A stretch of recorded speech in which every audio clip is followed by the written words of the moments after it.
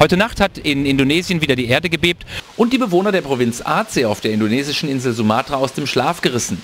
Die Menschen, sie flüchteten in Panik aus ihren Häusern und rannten auf die Straßen. Nennenswerte Schäden gibt es bislang jedoch nicht.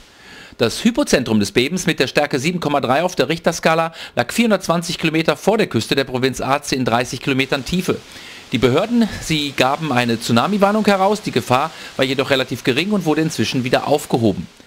Die Region wurde durch Erdbeben und Tsunami von 2004 sehr stark in Mitleidenschaft gezogen. Insgesamt 230.000 Menschen kamen damals ums Leben. Thomas Dangelder in Kuta auf Bali für Asien aktuell.